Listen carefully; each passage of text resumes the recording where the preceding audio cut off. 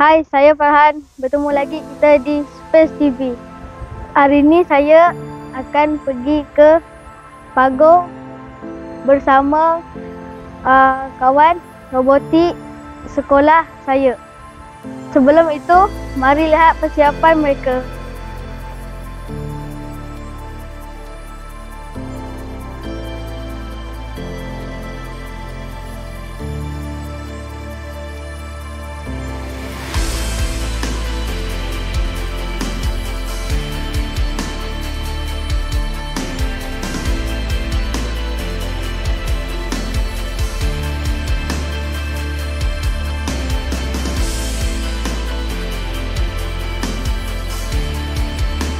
Jom ke Pago.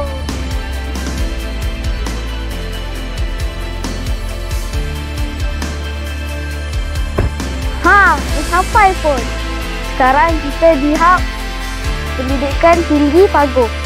Dekat sini lah pertandingan robotik dijalankan.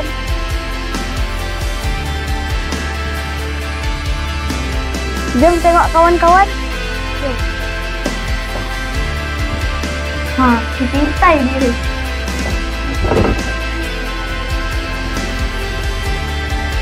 Untuk pengasuhan semua, hanya peserta je yang berada di dalam dewan.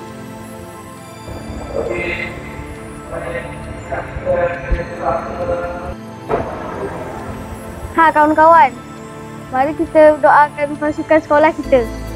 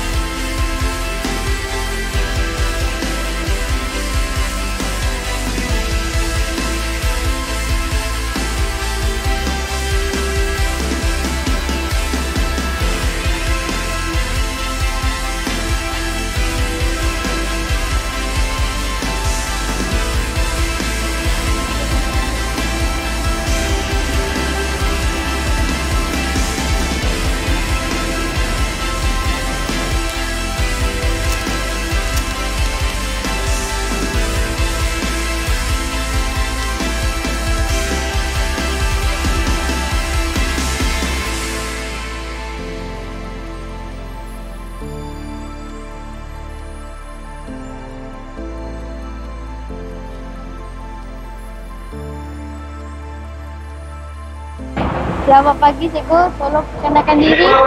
Okay, selamat pagi. Uh, nama cikgu adalah Cikgu Winok dan uh, cikgu dari SK Sungai Tiram. Okay. Apa pendapat cikgu tentang pertandingan robotik? Okey, uh, hari ini ni uh, kita kalau kita tengok ada banyaklah pertandingan robotik yang dijalankan. Kalau pada pendapat cikgu memang uh, pertandingan, pertandingan robotik ni memang uh, bagus untuk pembangunan murid lah. Di mana murid-murid tersebut kalau kita tengok dia kena kuarantin, lepas tu uh, dia boleh berfikir secara holistik dan uh, kritis lah untuk menyelesaikan masalah yang ada yang di, di, diberilah. Uh, yang terlebihnya yang inovasi ni pula, okay, kita tengok murid-murid ni kita dapat tungkil lah dia punya bakat bercakap dan menjawab soalan dengan betul lah. Itu saja. Saya ingin berkawan dengan sekolah-sekolah lain. Nama awak siapa? Nama saya Toha. Nama saya Nadif. Nama saya Dia. Awak semua daripada sekolah mana? SK Kempas. Uh, apa robot apa yang awak buat? Kompos bot. Kan dia masuk dalam ni. Lepas tu nanti dia blend. Dah blend lepas tu dia jadi kecil-kecil. Lepas tu dia masuk kat ni. Lepas tu dia masuk dekat sini. Kompos. Ha, kompos. Terima kasih. Sama Mari kita tengok inspirasi sekolah kita. Jom. Boleh perkenalkan diri? Nama saya Muhammad Al-Harith. Saya Muhammad Ryan Hakimi. Dan saya Muhammad Arish Mohaimin. Benda apa yang awak tengah buat? Kami membuat sistem kami membuat sistem pengairan pintar dan solar tracker. Ta- tajuk kami punya projek ialah Sun Aqua. Boleh tunjuk cara dia? Boleh. Ini ialah sistem kelembapan tanah. Apabila ia apabila ia mengukur tahap kelembapan tanah yang optimum, sistem ini akan membantikan penyiraman. Ini pula solar tracker. Ia akan mengikut solar matahari.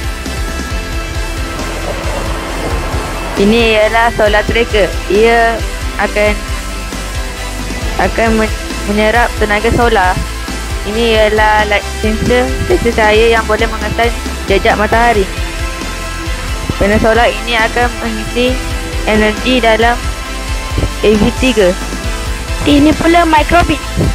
Microbit kalau dia nombor satu dan mukanya masam, maksudnya sensor kelembapan ini dia tidak mengesan air. Tetapi kalau microbit dia nombor satu dan mukanya senyum, maksudnya dan dia mengesan air. Terima kasih. Sama-sama.